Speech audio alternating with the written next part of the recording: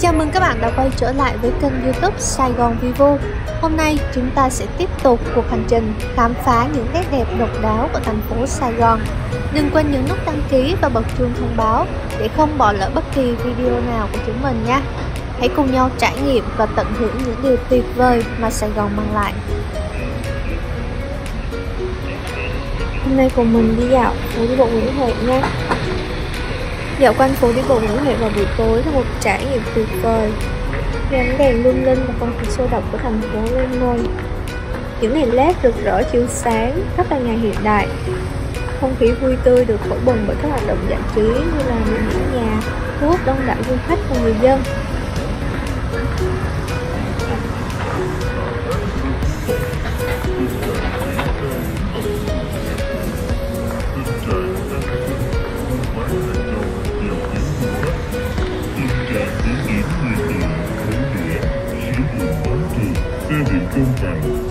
Gặp an toàn cho người dân và du khách.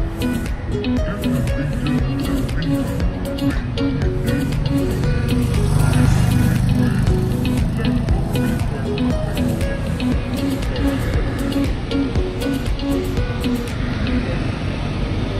Dọc theo phố đi bộ thì những gian hàng ẩm thực phục vụ các món ngon đường phố hấp dẫn.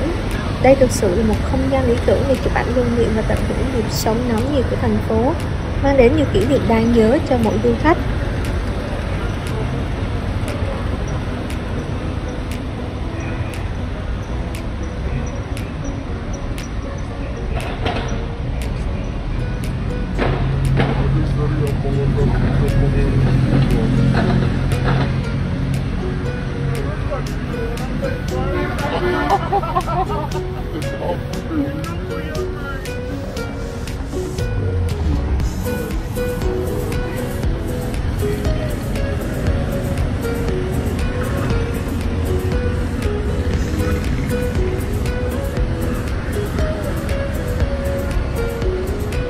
Những trải nghiệm ẩm thực và giải trí thì phố đi bộ Nguyễn Huệ còn là nơi giao lưu văn hóa độc đáo.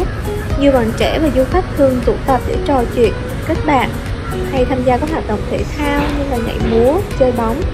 Với không gian rộng rãi, thoáng đãng cùng những ghế đá và bãi cỏ xanh mướt tạo điều kiện lý tưởng cho mọi người thư giãn sau một ngày dài.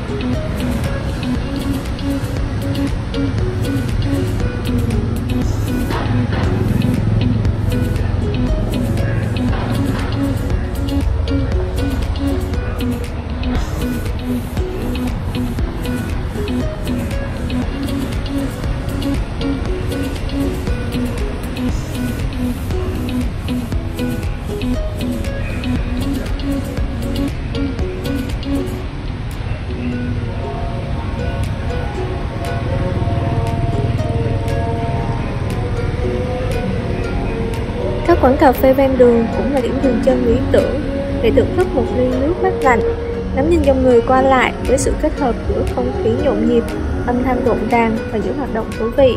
Dạo quanh phố đi bộ Nguyễn Huệ vào buổi tối không chỉ mang đến niềm vui mà còn là cơ hội để cảm nhận vẻ đẹp cuộc sống đô thị sôi động.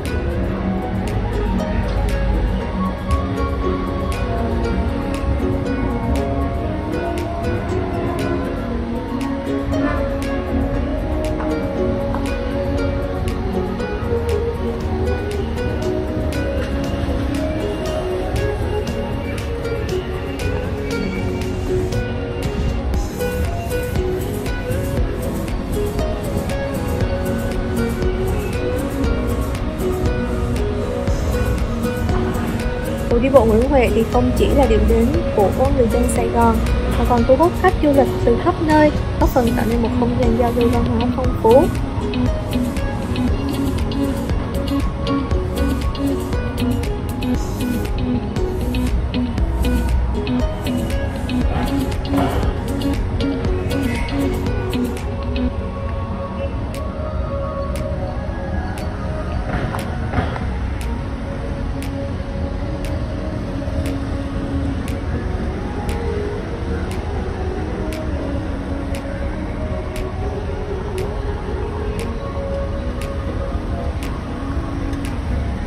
Bộ Nguyễn Huệ thì được biết đến là luôn sôi động và nhộn nhịp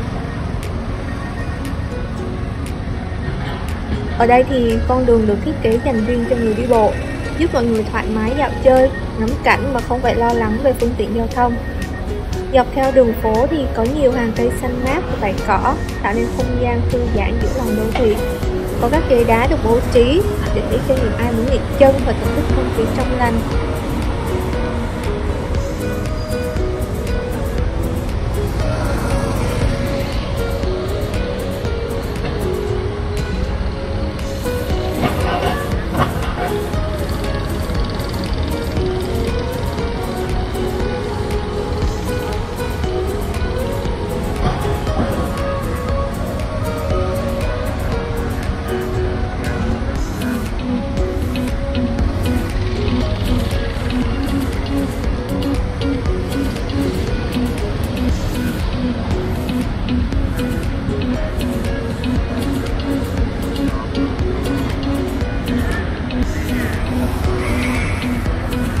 Ở đây thì khách du lịch sẽ có cơ hội thưởng thức nhiều món ăn đặc sản tại các gian hàng ẩm thực ven đường từ các món ăn vặt cho đến những món chính như là cơm tấm, phở. Tất cả đều mang đậm hương vị của Việt Nam.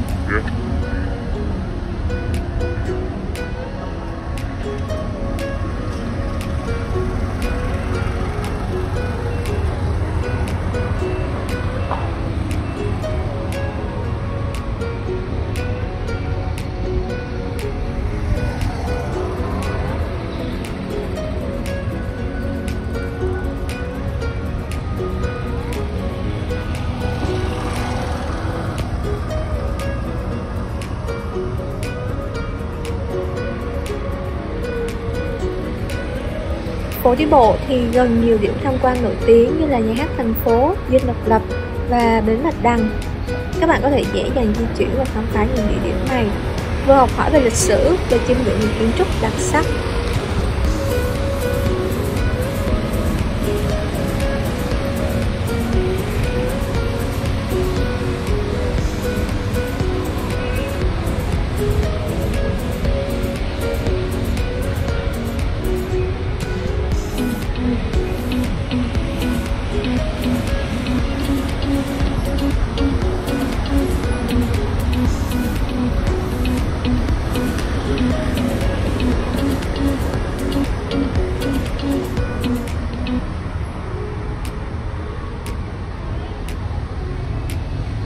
Tại đây không chỉ là một địa điểm du lịch hấp dẫn mà còn là nơi giao lưu văn hóa, nên mọi người có thể gặp gỡ, trao đổi và tạo dựng những kỷ niệm đẹp.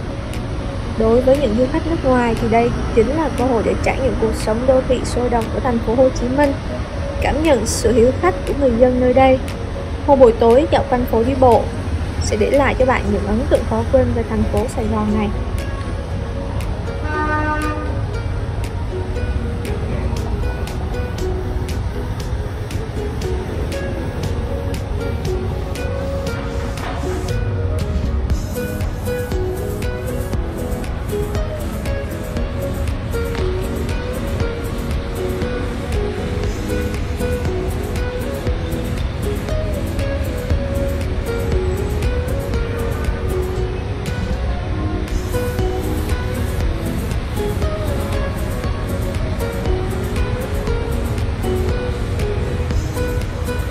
Các bạn đã theo dõi video ngày hôm nay trên kênh Sài Gòn Vivo.